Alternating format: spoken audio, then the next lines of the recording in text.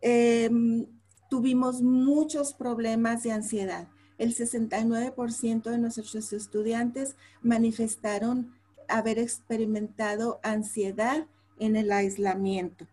Eh, de esos 69, el 62.5 manifestó eh, sentirse muy aislados en su casa y aislados porque no sentían que el flujo de la comunicación con los maestros y con sus compañeros era lo mismo.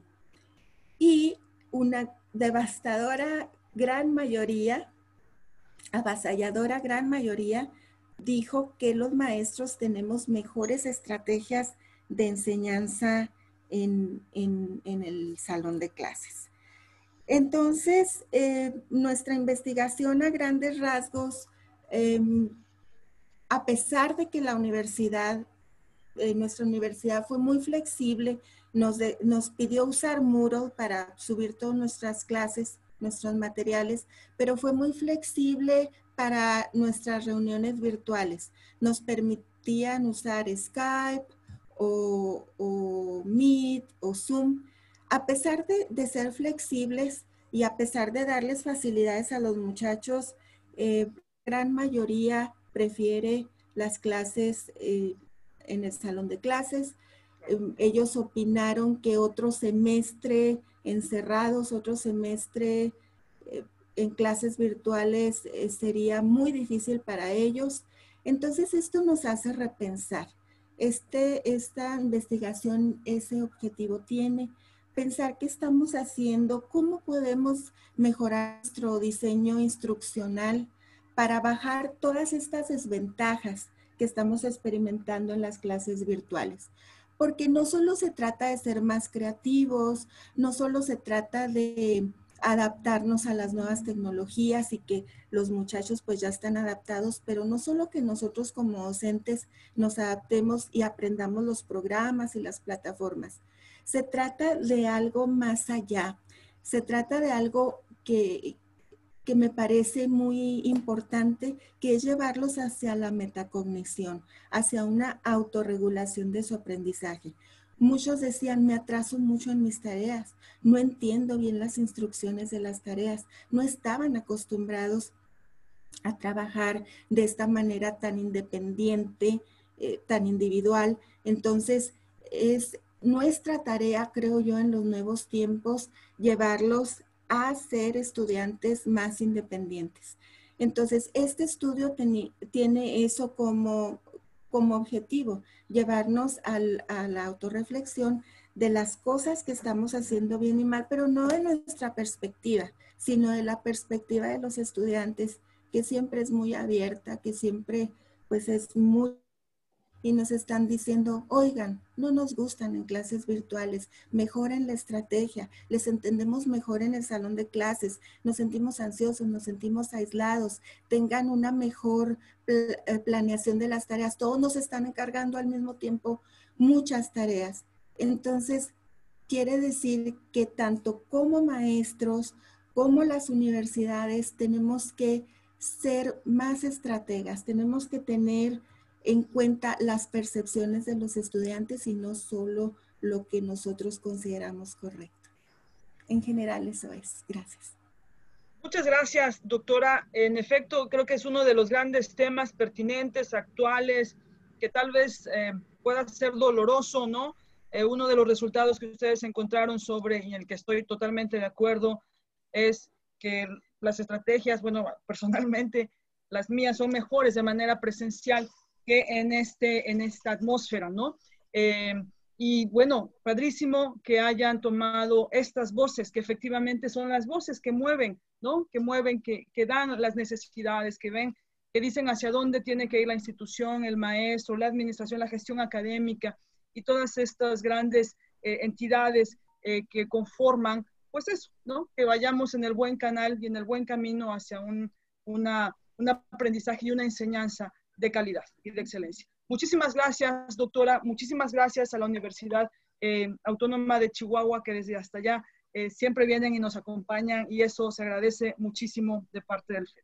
Gracias. Buenas A ustedes. Entonces, vamos ahora a continuar eh, con la Universidad, perdón, eh, la Benemérita Autónoma de Puebla, que nos acompaña hoy y le damos, le cedemos entonces el micrófono con una breve reseña sobre este trabajo que nos presentan hoy y que ya tenemos en el canal de FED. Adelante, doctores. Bueno, muchas gracias. Este, aquí estamos las dos, la maestra Janet de la Rosa y su servidora Gabriela Lor. Y bueno, realmente este, a mí me llama mucho la atención lo que ahorita presentó la doctora, porque el estudio que nosotros eh, queremos, eh, bueno, que presentamos, eh, primero que nada, lo hicimos mucho antes de la pandemia, ¿no? Empezamos este estudio antes de que, de que tuviéramos que migrar totalmente a un, a un espacio totalmente virtual en las clases. Y nuestros resultados contrastan con lo que, lo que la doctora Claudia decía, porque en ese momento tal vez no estábamos en confinamiento y para los estudiantes era algo diferente hacer, usar los entornos virtuales como parte de una, de una realidad eh, en sus clases. Y entonces lo que nosotros hicimos fue eh, hacer una intervención y, en, una clase de, francés eh, que es dada por la maestra Janet. Diseñamos una intervención porque usamos una metodología del Action Research, del Exploratory Action Research, donde hicimos el diseño instruccional de cuatro actividades usando estos ambientes virtuales. Usamos eh, hicimos el diseño instruccional de cuatro actividades donde los alumnos tenían que utilizar eh, ya fuera eh, los recursos tecnológicos que tenían a la mano dentro de la, de la, universidad, como son las computadoras, sus tablets, incluso los teléfonos. Este, y, y, entonces, además de utilizar esos recursos tecnológicos, usaban ciertas plataformas y ciertas aplicaciones para llevar a cabo las tareas. Entonces, hicimos eh, la planeación de la intervención como, como, una, como una serie de actividades donde los alumnos tenían que eh, hacer, hacer, esto surge a partir de que nos dimos cuenta que los alumnos por lo menos nuestros alumnos eh, utilizaban el teléfono todo el tiempo, están pegados al teléfono. Nuestra, nuestra universidad es una de las universidades que ha invertido de alguna manera ciertos recursos para tener salones donde todos tienen computadoras, hay una computadora para cada estudiante y también nos dábamos cuenta que eh, muchos iban a la clase, prenden la computadora, pero prendían la computadora y generalmente utilizaban para cuestiones personales, ¿no? Para conectarse a sus redes sociales, para chatear con los amigos, para ver fotografías, para tomarse fotos incluso, ¿no? Entonces, veíamos que, o sea, sí lo usaban, siempre estaban prendidos, pero generalmente para cuestiones personales, no, no era para cuestiones de clase. Entonces, en ese tiempo no estábamos en, en, pandemia, por supuesto. Entonces decidimos, bueno, si, les, si de verdad les gusta tanto usar este tipo de cosas, pues vamos a usarlas de manera que sean eh, productivas para la clase, ¿no? Entonces pensamos en las actividades, las hicimos y la otra parte del estudio tiene que ver con hacer un, hicimos un, un, eh, cuestionario donde ya tomábamos las percepciones de los estudiantes de, eh, de, estos este, nueve estudiantes que tuvimos con respecto al uso de estas plataformas, pero ya en la clase, ¿no? Y bueno, los hallazgos así a grandes, a grandes mm, rasgos es que pues los alumnos nos decían que sí les facilitaban la comprensión, el recuerdo y la integración del conocimiento del idioma francés utilizando estas. Por ejemplo, una de las actividades fue la visita, un, la visita virtual a un museo, ¿no? Entonces, eh, ligado con lo que tenían que aprender en el idioma, de cómo dar este, instrucciones de cómo llegar a algún lado, este, cómo, cómo eh, mandar mensajes y además cómo utilizar, por ejemplo, el Google Maps, que lo tenían que usar desde su, desde su, desde su teléfono, pues esto les permitió tener mucha interacción, tener mucho, mucho trabajo colaborativo. Y también nos decían ellos que lo, lo que les gustaba es que les permitía controlar su proceso sea, controlar su proceso de aprendizaje. Ellos, si de plano no podían con eso, pues se iban a lo mejor a algún otro, algún otro recurso que los ayudara a entender lo que tenían que hacer. Eh, nos comentan que sí aumentaron su motivación para ir a la clase y esto pues es, es una respuesta realmente interesante porque eh, la idea de usarlos no fue, no, no es como lo estamos usando ahorita, porque en ese momento sí teníamos acceso a la, a la universidad. Ellos iban a la universidad y eh, desde la clase misma usaban estos, estos dispositivos tecnológicos, ¿no? Bueno, eh, una de las preguntas decía, por ejemplo, que si estas habilidades, bueno, que si estas actividades los habían ayudado a convertirse en un poco más independientes y muchos dijeron que sí, e incluso independientes para, otros trabajos que no tenían que ver con necesariamente la clase de francés, sino para la vida, ¿no?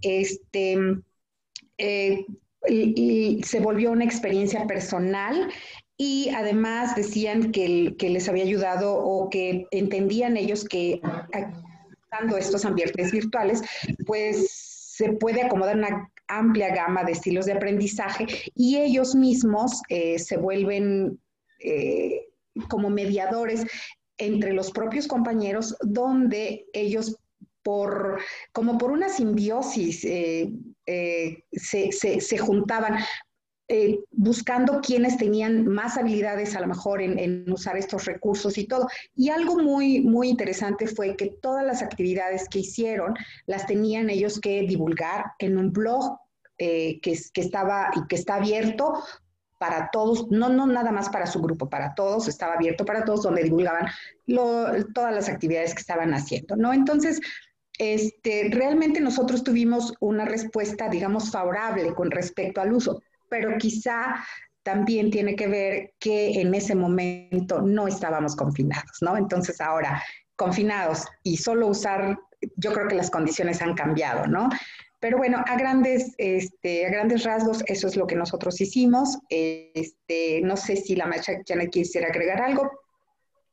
Este, sí, sobre todo algo parecido a lo que comentaba la maestra Claudia hace un rato en su explicación, es que los docentes no nada más se trata de incorporar la tecnología, ¿no? sino hacer un, un diseño estructural de cómo se van a ir aplicando también precisamente para que el alumno se vaya apropiando de estas habilidades y aprenda a gestionar su propio conocimiento.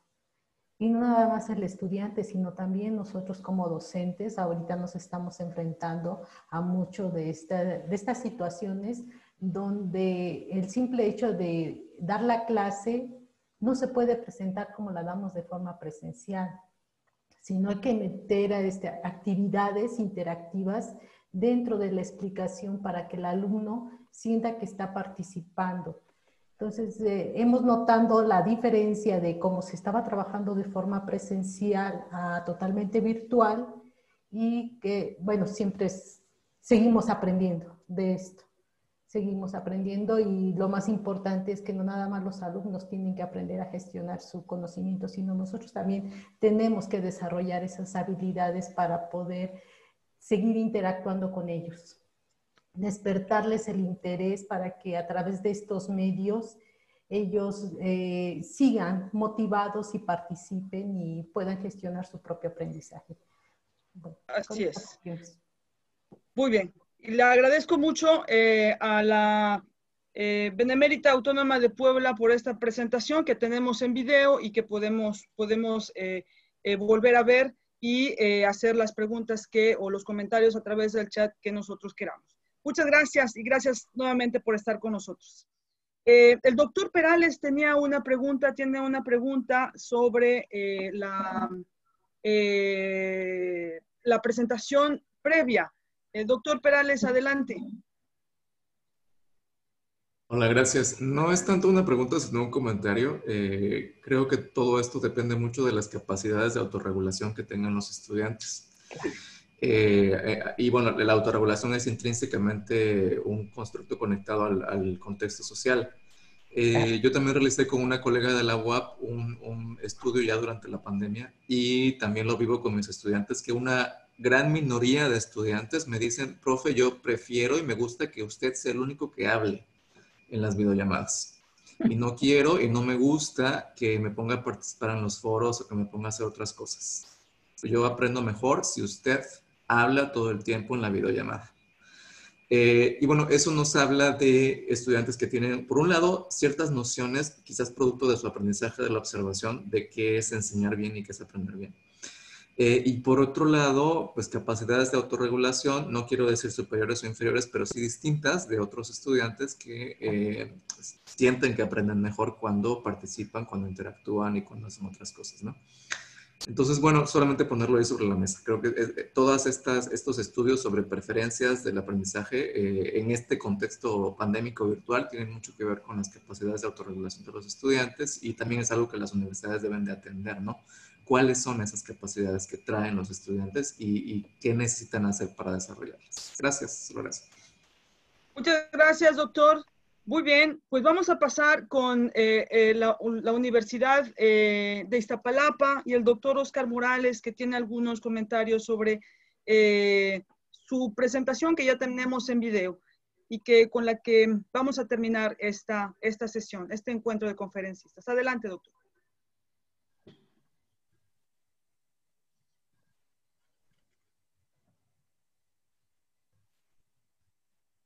Perdón, doctor Osorio y la doctora Maldonado. Hola, ¿qué tal? Buenos días. Este es un trabajo en equipo que se hizo. Buenas tardes. Este es un trabajo en equipo que se hizo en la Guamista Palapa, de enseñanza virtual, desde tres perspectivas. Cada uno de nosotros analizó este tema. Es el programa, los estudiantes y el actor principal, que es el profesor, desde tres perspectivas también, las, los contextos en los que viven, la realidad y los alcances. Entonces, igual le doy la palabra a Camaliel y después a Martita para hablar de este tema sucintamente. Gracias. Hola, buenas tardes a todos, ¿cómo están? Este, la verdad es que está muy interesante escuchar los comentarios de, los compañeros y, tenemos mucha relación con estos, con el tema que nosotros también trabajamos en, este, en la UAM. Eh, en la sección que me tocó coordinar fue precisamente la elaboración de un diseño instruccional. A todos nos cayó pues de sorpresa, ¿no? La, la pandemia y de un día para otro se nos confinó de una pandemia que todavía, digo, en una cuarentena que no termina, y eh, lo que se hizo precisamente en esta primera sección, en, esta primer, em, en este primer paso de, nuestra, de nuestro trabajo, fue realizar un diseño instruccional durante el periodo intertrimestral que teníamos en la UAM para poder llevar a cabo las clases en línea. Eh, nos tomó tiempo, tuvimos que cambiar un poco nuestros métodos, nuestros libros, capacitarnos. Afortunadamente habíamos tomado en enero, por azar del destino, formaciones de diseño instruccional y formación a distancia. Y bueno, eh, se, acopló de una manera extraña, por decirlo así, nuestra, nuestra formación académica que habíamos tomado con la realidad de la pandemia. Y bueno, eh, hicimos esta planeación instruccional de los cursos básicos de francés, francés 1, francés 2, francés 3. Eh, estamos también en francés 4 y bueno, se estuvo elaborando poco a poco el francés 5 y 6, ¿no? Y bueno, este diseño instruccional eh, se, realizó, se realizó con, varios, eh, con varias herramientas digitales. Canvas es la que adoptamos al final, la, la, plataforma Canvas, que es bastante accesible. Eh, trabajamos con IO también y con Classroom. Y dividimos el, el tiempo, seccionamos nuestro trabajo y tratamos de que los chicos puedan acceder a esta plataforma y tengan eh, los cursos totalmente publicados y conforme la clase, o trabajar, mejor dicho, trabajar conforme eh, la metodología de la aula invertida, ¿no? Algo antes de clase y durante la clase eh, resolver dudas o trabajar, ¿no? Los conocimientos. Esa fue la perspectiva desde el diseño instruccional que, que igual que las compañeras de mi alma mater, trabajamos, ¿no? En la web. Muy bien.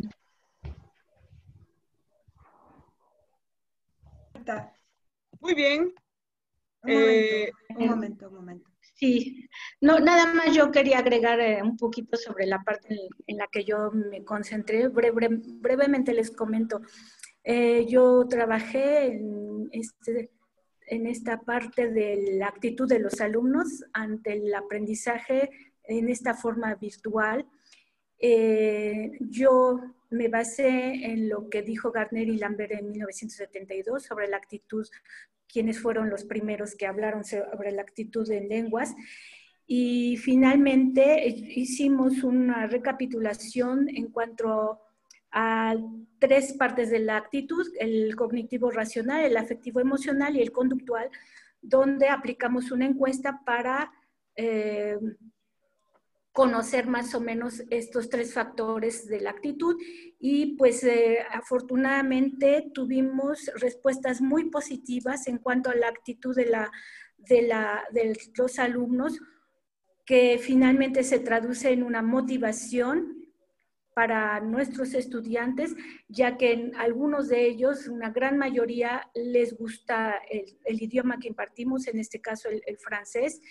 Eh, se sentían bien en, al momento de tomar su clase, a pesar de muchos problemas que tuvieron, inclusive ellos mismos, porque muchos de nuestros alumnos eh, tenían el, el COVID, la la enfermedad, eh, tanto ellos o a veces sus, eh, familiares. Entonces, ellos venían al curso, se conectaban y con sus medicamentos, etcétera, obviamente que les permitiera estar en clase, ellos se conectaban. Entonces, a pesar de eso, su actitud fue muy positiva e inclusive eh, tenían un eh, componente afectivo muy importante que dieron a conocer en nuestros resultados, que les invito a conocer porque realmente se eh, hizo su actitud una motivación y que dio el éxito a los cursos virtuales que, con los que continuamos en este trimestre. Bien, entonces para concluir, este es un trabajo, es un trabajo en equipo son tres perspectivas. Es el uso del método, la cuestión de la motivación, es para ver las, la conducta actitudinal del alumno y el factor del maestro, o sea, un actor que, que, motiva, porque nuestra pregunta de inicio fue, ¿por qué si es una situación tan difícil, por qué los alumnos vienen? ¿Por qué queden y por qué aprenden? Entonces, en esas tres vertientes nos fuimos para verificar esto hicimos una encuesta, los resultados salieron interesantes y vimos que como nuestros compañeros estamos en un proceso de aprendizaje y de sorpresa. Muchas gracias. Muchísimas gracias a ustedes y resultados que podremos ver tal vez más adelante o que nos darán eh, una primera eh, visión en el video que ya tenemos en el canal de FEL y que agradecemos haberlo subido en tiempo y que pues pues sobre todo que estén aquí con nosotros. Muchísimas gracias. Bienvenidos otra vez. Aquí terminamos con esta sala 4 y este primer bloque de conferencias. Tenemos más, así que les doy siete minutos para que puedan cambiar de sala. Yo les agradezco su asistencia. Que tengan muy buena tarde y bienvenidos otra vez. Hasta pronto. Gracias, adiós. Muchas gracias, hasta luego. Hasta luego. Gracias. Buen día. Gracias. Buen día, hasta luego. Hasta luego. Bienvenidos. Gracias. No se vayan, se pone bueno esto. Sí, gracias. Hasta luego. Hasta luego.